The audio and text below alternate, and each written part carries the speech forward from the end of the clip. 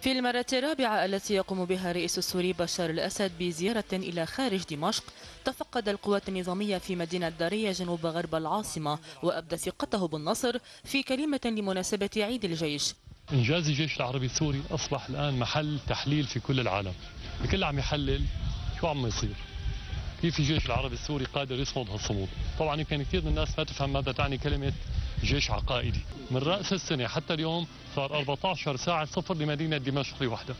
بس بكل ساعة صفر بكل ساعة صفر أنتم كنتوا عم تحملوها تحولوهم هن لصفار من جهته أعلن رئيس الوزراء وائل الحلقي أن الحكومة أقامت نحو 830 مركزا لإيواء النازحين. واعتبر الحلقي أن الحل السياسي هو السبيل الوحيد لوضع حدا للنزاع لكنه رفض التحاور مع الإرهاب.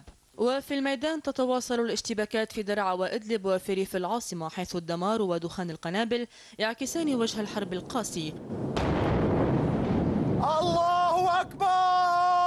كما قتل العشرات في انفجار مخزن ذخيرة في حي موال للنظام في حمص وفق المرصد السوري. وفي واشنطن اعتبرت الولايات المتحدة أن إنشاء الرئاسة السورية صفحة لها على موقع انستغرام خطوة مثيرة للاشمئزاز ولا تعكس أبدا حقيقة الحرب في سوريا.